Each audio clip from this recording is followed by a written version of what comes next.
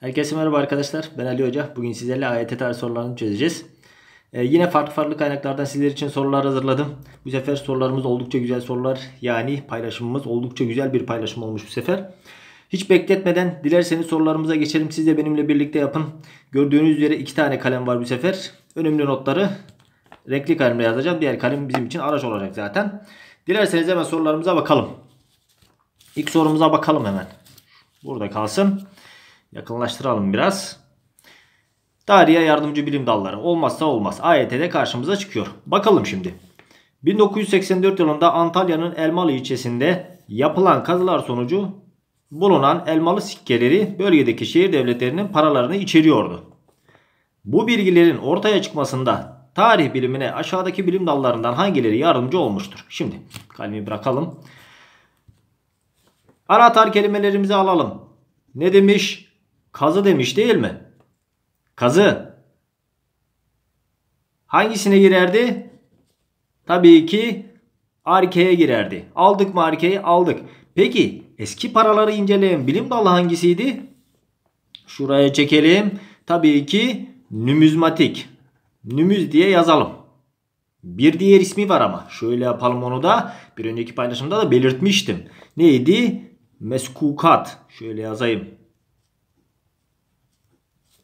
Meskukattı. Değil mi? Şimdi şıklarımıza bakalım.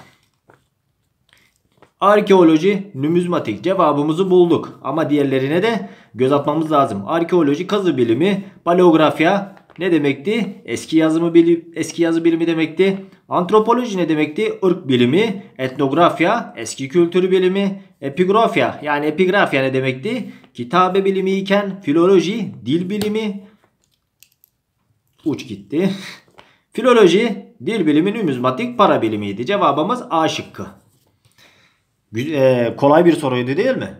Biliyorsunuz ki ilk başta sorular kolay oluyor genelde ama bu sefer öyle olmayacak. Diğer sorular biraz daha iyi. Diğer soru, soruya geçelim şimdi. Bakalım. Bu da güzel bir soru. Yakınlaştıralım biraz. Maden devri ile ilgili aşağıdaki hangi sıra eşyaların bulunması bölgenin maden devirlerini sırasıyla yaşadığına kanıt olarak gösterebilir. Şöyle yapalım. Piramidimiz, piramidi biliyor muyuz? Piramit. Piramidimiz şu şekilde. Taş. Toprak. Ve en son neydi? Maden. Değil mi? Eğer piramit şu şekilde ise tarih öncesi devirler sırasıyla yaşanmıştır. Soru bizden ne istiyor? Diyor ki maden devri nasıl sırasıyla yaşanmıştır? Yazayım hemen sizlere. İlk önce ne gelecek? Şunu bırakalım. Hiçbir zaman unutmayın. İlk önce bakır, sonra tunç, sonra ise demir gelecektir. Peki tunç ne demek? Tunç bakır ve kalayın eritilmesiyle ortaya çıkan madendir. Bakalım. Demir, bakır, tunç. Hayır, demir en sonda gelir. Eledik. Bakır, tunç, demir. Bulduk mu cevabımızı? Bulduk. Tunç, demir, bakır. Hayır. Bakır, demir. Hayır. Tunç, bakır, demir. Cevabımız B şıkkı. Dediğim gibi bakır, tunç, demir maden devri sırasıyla böyle yaşanır. Tarih öncesi devirler ise taş, toprak ve maden olarak gider. Diğer sorumuza gelelim şimdi. Bakalım. Şöyle uygarlıklar. Bu uygarlıklara da dikkat edelim. Bakalım şimdi. Naz ve bilgi arasındaki bu konuşmada bilgenin cevabının doğru olması için aşağıdakilerden hangisini söylemesi gereklidir? Bakıyoruz şimdi. Naz ne demiş? Ne diyor Nas? Diyor ki ilk çağda Doğu Akdeniz kıyısında kurulmuş bir uygarlıktır. Şehir devletleri şeklinde örgütlenen bu uygarlık deniz ticaretiyle uğraşmış, tarihte ilk kez koloniciliği ve sömürgeciliği başlatmıştır. Bu uygarlığın adı nedir? Bilge hangi cevap vermiş olabilir sevgili arkadaşlarım? Sizce? Şimdi Doğu Akdeniz'de kurulan iki tane uygarlığımız var zaten. Eğer bunları biliyorsak cevabı hemen buluruz. Biri Fenike, Diğeri ise İbranilerdir. Coğrafi konumlara dikkat ediyoruz. Biri Fenike, diğeri İbraniler. E şimdi sorarım size. Denizlerde kolonicilik ve sömürgeciliği başlatan uygarlık yani denizciler olarak bilinen uygarlık Fenikeliler değil miydi? Tabii ki Fenikelilerdi. Şıklarımıza bakalım. Lidya 7. yüzyılda madeni parayı buldular. İyonyalılar Ege'de kurulan bir uygarlıktır. Ee, özür dilerim Anadolu'da kuruldu.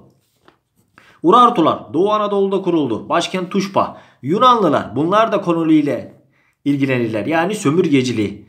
Sömürgeci bir de uygarlıktır. Neyden dolayı sömürgeci peki? Coğrafi konum bunu gerektirdiği için. Cevabımız Fenikeliler olacaktır. Fenike alfabesini de unutmuyoruz. Cevabımız C şıkkı. Gelelim bir diğer sorumuza şimdi. Gel gelelim en önemli soruya. İlk Türk devletleri. Her zaman söylerim size. Önemlidir. Aşağıdakilerden hangisi ilk Türk devletlerinde devlet yönetimiyle ilgili kavram olduğu söylenemez. Dikkat etmemiz gereken sorulardan biridir bu. Bakıyoruz şimdi. İkili teşkilat. Şöyle yapalım. İkili teşkilat ne demek?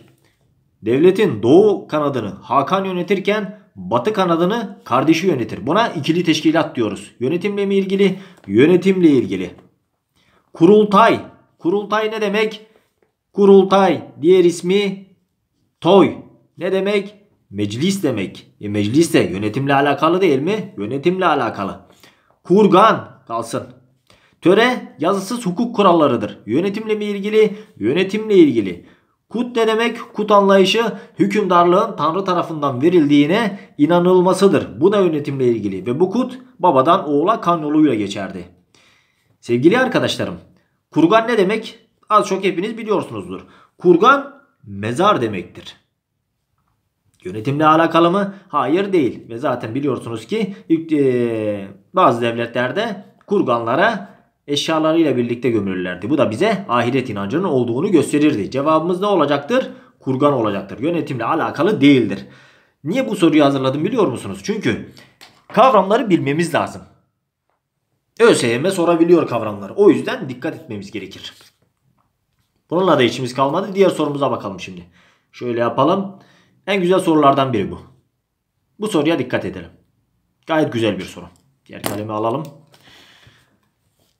Karahanlıların Türk İslam tarihine ait kervansaray ve medreseler inşa etmeleriyle ülkeyi doğu ve batı olarak iki idari birime ayırarak yönetmelerine bakılarak aşağıdaki yargılardan hangisine ulaşılamaz? İlk önce anahtar kelimelerimizi alalım. Kervansaray, medrese. Bununla beraber iki idari bilim, ikili teşkilattan az önce bahsettik zaten. Bakıyoruz şimdi.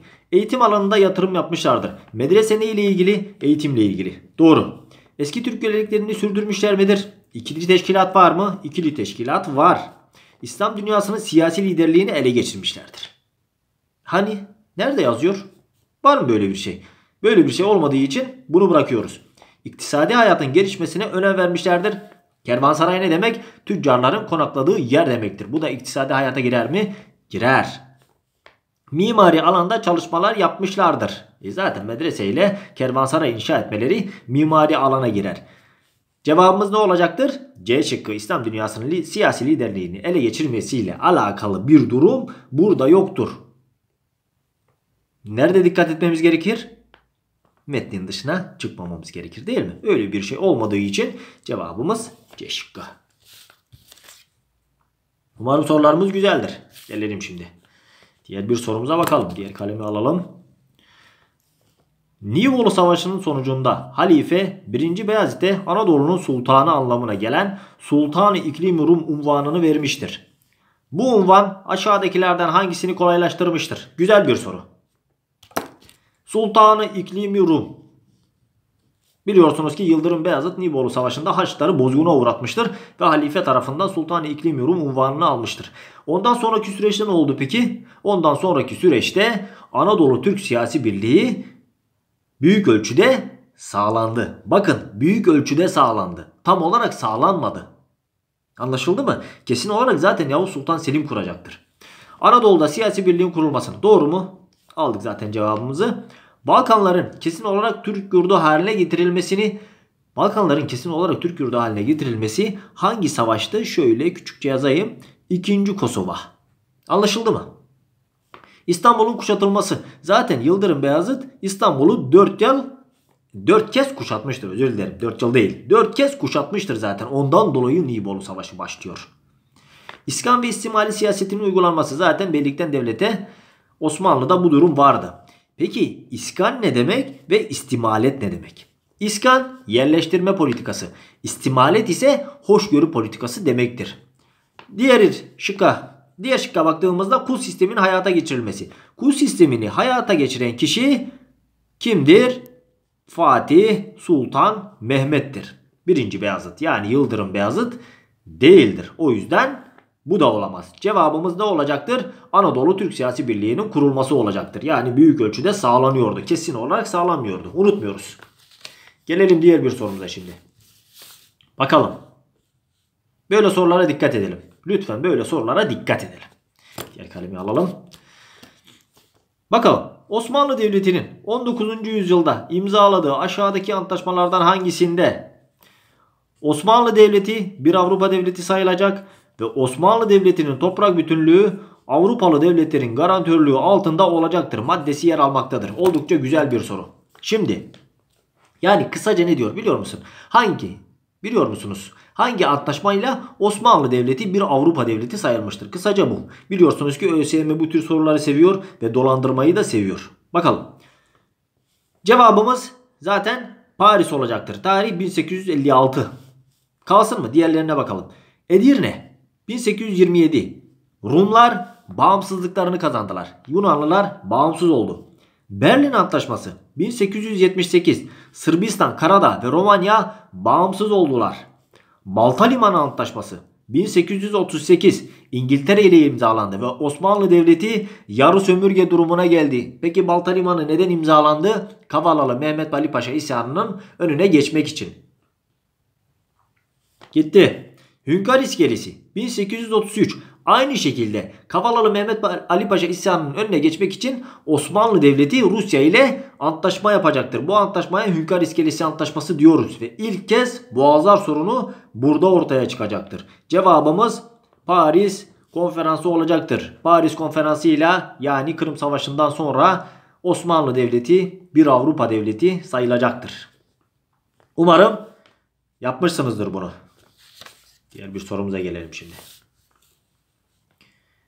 Şimdi gelelim. İnkılap tarihine gelelim biraz da değil mi? Çünkü hep eski tarih olmaz. Osmanlı olmaz. İlk Türk devletleri olmaz. Türkistan devletleri olmaz. Biraz da inkılaba gelelim. Biraz demeyelim hatta. Çünkü inkılap tarihine son yıllarda büyük önem veriyor ÖSYM. O yüzden dikkat etmemiz gerekir. Bakalım. Gel kalemi elimize alalım. Ne diyor? Kurtuluş Savaşı'nda Türk ordusu Batı cephesinde Yunanlılara karşı mücadele etmiş Savaşın en önemli muharebeleri bu cephede yaşanmıştır. Yunanlıların bu mücadele ile aşağıdakilerden hangisini amaçladığı savunulamaz. Diyor ki Batı cephesi neden başladı ve Batı cephesinde hangi gelişmeler yaşandı? Ve Yunanlıların amacı bunda ne? Biliyorsunuz ki Batı cephesinde Yunanlılarla savaşılmıştır sevgili arkadaşlarım. Yunanlılarla savaşılmıştır ve Yunanlıların amacı TBMM'yi dağıtmak ve Sevr'i kabul ettirmektir. Ki zaten İngiltere'den de yardım alacaktır. Bakalım. Megalo ideayı gerçekleştirmek. Megalo ideası ne demek? Şöyle. Sığmayabilir. Bizans'ı yeniden diriltmedir. Unutmuyoruz. Megalo ideasını. Büyük Yunanistan hayali. Anladık mı? Bunu amaçlamış mı? Amaçlamış. Osmanlı saltanatının devamını sağlamak. Şimdi sorarım size. Sizce Yunanlıların Böyle bir amacı olabilir mi? Zaten Osmanlı Devleti baskı altında. Hiçbir şey yapamıyor. İtila devletlerine yardım ediyor sadece. Kalsın mı? Kalsın. Anadolu hareketini sona erdirmek. Burada Anadolu hareketinden kastı milli direnişin önüne geçmektir. Doğru mu? Tabii ki doğru. Sevr Antlaşması'nı TBMM'ye kabul ettirmek zaten ilk başta söylemiştim değil mi? En büyük amaç budur. İngiltere'den destek almayı sürdürmek. İngiltere'den destek aldıktan sonra Kütahya Eskişehir Savaşı'nı kazanacaklardır. Hangi savaş kazanacaklardır? Kütahya Eskişehir. Anlaşıldı mı? Zaten e, TBMM'nin kaybettiği tek savaştır. Kütahya Eskişehir. Diğer dördü kazanılıyor biliyorsunuz ki. Cevabımız ne olacaktır o halde? B şıkkı. Osmanlı saltanatının devamını sağlamak gibi bir düşünceleri yoktur Yunanlıların. Bu, bununla da işimiz kalmadı. Diğer sorumuza bakalım şimdi. Bakıyoruz. Diğer kalemi alalım. Şöyle biraz yakınlaştıralım değil mi? Benimle birlikte yapıyorsunuz umarım. E, doğru ve cevaplarınızı zaten belirtebileceksiniz. 9. Ordu müfettişliği görevinden ayrılıp askerlik mesleğinden istifa ederek sine millete dönen Mustafa Kemal ilk kez aşağıdakilerden hangisinde sivil lider görevi üstlenmiştir? Oldukça güzel bir soru. Ve bu soruya dikkat edelim bu sene gelebilir. O yüzden buraya yıldız attım. Sevgili öğrencilerim, Amasya Genelgesi biliyorsunuz ki milli mücadelenin gerekçesi, amacı ve yöntemi belirtilmişti. Ve bunun üzerine Mustafa Kemal hakkında tutuklama kararı çıkarılmış ve Mustafa Kemal Amasya'dan sonra askerlik görevinden ayrılmıştı. Soru ne diyor? Diyor ki ilk kez hangisinde görev yapmıştır? E, Amasya'dan sonra hangisi geliyor? Tabii ki Erzurum Kongresi geliyor. İlk kez milli sınırlardan bahsediliyordu. Rauf Orbay ile birlikte Erzurum Kongresi'ne gidiyor. Amasya Protokolü. Amasya Protokolü hangisine giriyor? Amasya görüşmelerine giriyor değil mi? Temsil heyeti ile kimler arasında gerçekleşiyor?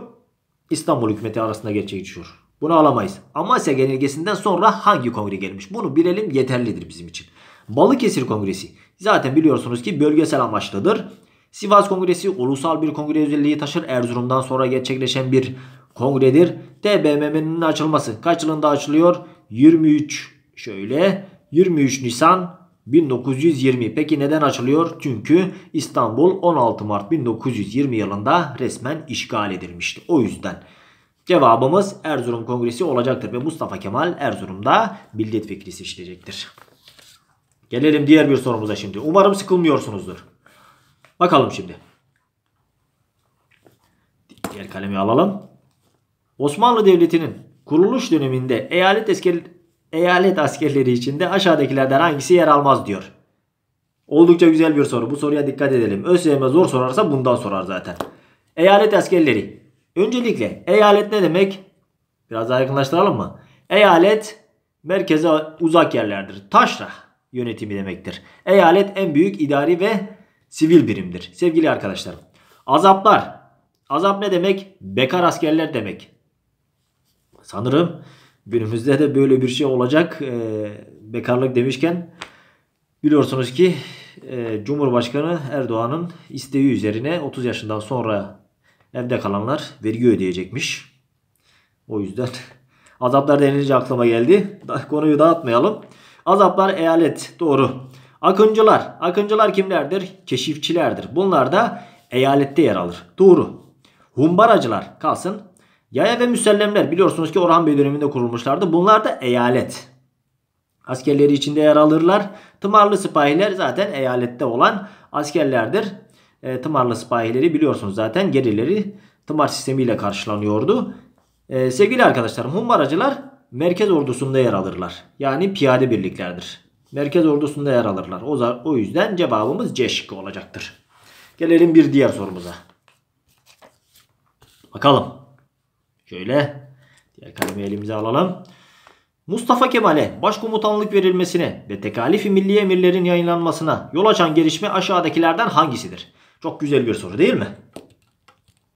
Bakın diyor ki neden Mustafa Kemal'e başkomutanlık yetkisi verildi ve Mustafa Kemal neye dayanarak tekalifi milli emirlerini yayımladı? Soru bizden bunu istiyor. Bakalım. Türk ordusunun Yunanlılara karşı taarruza geçmesi hayır büyük taarruzda zaten geçecekti. Eledik. Türk ordusunun Kütahya Eskişehir savaşlarında yenilmesi kalsın mı kalsın hep birlikte. Birlikte bunu açıklayacağız. Siz de o ara bilgilerinizi tazeleyin. Sovyet Rusya ile Moskova Antlaşması'nın imzalanması bu olumlu bir gelişmedir zaten. 16 Mart 1921. Sakarya Meydan Savaşı'nın kazanılması önce, e, sonrasında gerçekleşen bir durum olacaktır bu. Doğu cephesinin kaba. Dilim dönmedi. Doğu cephesinin kazanması, kapanması Gümrük Antlaşması'dır. O yüzden alakası yok.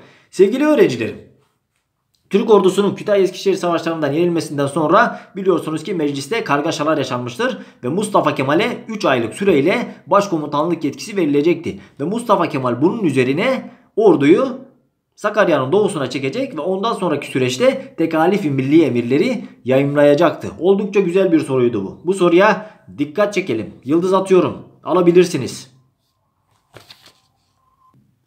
Şimdi diğer sorumuza bakalım.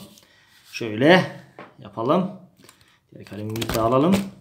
Bakalım şimdi. Biraz Atatürk ile ilgili. Bakalım. Atatürk bir toplantıda madem ki vatan kutsaldır ve bir bütündür öyleyse memleketi doğu ve batı diye ikiye ayırmak doğru değildir demiştir. Bu sözleriyle Atatürk'ün aşağıdakilerden hangisinin önemini vurguladığı savunulabilir. Mustafa Kemal burada ne demiş olabilir sizce? İlk önce size bırakayım. Bakayım siz ne çıkaracaksınız değil mi? Diyor ki madem ki vatan kutsaldır, bir bütündür, niye devleti doğu ve batı olarak ikiye ayıralım? Diyor ki eski Türk geleneklerini devam ettirmeyelim. Çünkü eski Türklere zarar verilmişti bu. Bu da neye ters düşüyordu? Ulusal egemenliğe ters düşüyordu değil mi? Şıklarımıza bakalım. Akılcılık ve bilimsellik hangi Atatürk ülkesiyle ilgiliydi? Laiklikti değil mi? Bununla alakası yok. Ulusal egemenlik. Alıyor muyuz? Alıyoruz. Milli birlik ve beraberlik bu bağımsızlığa girer. Ulusal egemenliğe değil. Anlaşıldı mı? Yurtta barış ve dünyada barış Atatürk dönemi Türk dış politikasının uygulamış olduğu politikadır. İnsan ve insan sevgisi. Hayır. Cevabımız ulusal egemenlik olacaktır. Yani vatanın bir bütün olarak kalması gerektiğinden bahsetmiştir. Mustafa Kemal. Bu da gitti. Gelelim. Gel gelelim. Gel kalemizi kalemi alalım. Banko soruya. Her zaman söylüyorum zaten. Kesin çıkacak. Bakalım. Türk ulusunun yeteneği ve kesin kararı cumhuriyet, uygarlık ve gelişme yolunda durmadan korkusuzca ilerlemektir. Atatürk'ün bu düşüncesinin gerçekleştirilebilme, gerçekleştirilebilmesi için öncelikle aşağıdaki ilkelerden hangisinin uygulanmasının zorunlu olduğu savunulabilir. Bugün dilim dönmüyor ya. Anlamadım niye.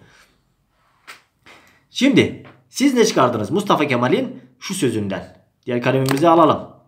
Siz ne çıkardınız? Diyor ki Türk ulusunun yeteneği ve kesin kararı cumhuriyet, uygarlık ve gelişme. Size anahtar kelimeleri veriyorum değil mi her zaman?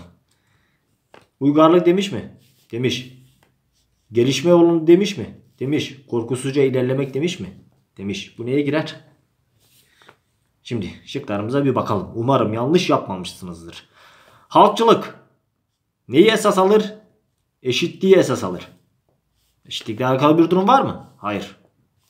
Laiklik din ve vicdan özgürlüğünü esas alır. Akıl ve bilimi esas alır. Akıl, bilim. Laiklikle alakalı bir durum var mı? Hayır. Devletçilik iktisadiyi esas alır. Ekonomiyi esas alır. Kalkınmayı esas alır. Öyle bir şey var mı? Hayır. İnkılapçılık yeniliği esas alır. Uygarlığı esas alır. Muasır medeniyet seviyesini esas alır. Milliyetçilik neye esas alır? Az önce belirttik zaten. Milli birlik ve beraberlik. Bağımsızlığı esas alır. Bundan da bahsedilmemiş. Cevabımız değişik olacaktır. Bu sorularımız AYT'cilere özel sorulardı. Zaten e, sizler için en iyi soruları hazırlamak istedim. E, peki devamı gelecek mi? Tabii ki gelecek. Duygu ve düşüncelerinizi yorumda belirtebilirsiniz. Bugün bazen dilim e, dönmüyordu. Kusura bakmayın. Bilmiyorum ne oldu. Bilgi dolu bir paylaşım sizler için hazırladım. Umarım not tutmuşsunuzdur. E, artık iki kalem olacak. Biri renkli, biri normal. E, dediğim gibi renkli kalem için sizlere bilgi vereceğim. E, renkli kalemle sizlere bilgi vereceğim. Diğer kalem bizim için araç olacak. Konularımız, sorularımız buraya kadar. Umarım hoşunuza gitmiştir. Umarım sıkılmamışsınızdır. Çünkü bazı öğrenciler diyor ki tarih sıkıcı. Sıkıcı da geçiyor diyorlar. Umarım sizin için böyle olmaz. Elimden geldiğince sıkılmamanıza dikkat ettim. Ee, sorularımız buraya kadar. Daha çok soru çözümü ve bilgi sorsanız zaten ne yapmanız gerektiğini biliyorsunuz. E, kafanıza takılan bir soru olursa yorumda belirtebilirsiniz. Bazı öğrencilerim çünkü beni uyarıyor. Diyor ki hocam e, bunun cevabının bu olması gerekir diye. Ben de soruyu sonradan kontrol ediyorum. Ve gerçekten öyle çıkıyor. Ve ben o öğrencilerimi zaten tebrik ettim. Demek ki dikkatli beni dinliyorlar. Onları bir daha tebrik ediyorum. Siz de e, doğru ve yanlışlarınızı yorumda belirtebilirsiniz. Size geri dönüş yaparım. Yoğun olduğum için bazen geri dönüş yapamıyorum ama elimden geldiğince size geri dönüş yapacağım. AYT ağırlıklı paylaşımlar yapacağım. Çünkü bunu istiyorsunuz gerçekten. TYT de olacak tabii ki. Karışık olacak mı? Bakacağım ona sonra. Konularımız, sorularımız buraya kadar. Kendinize çok ama çok iyi bakın. Bilgiyle kalın, tarihle kalın, kültürle kalın. Hoşça kalın.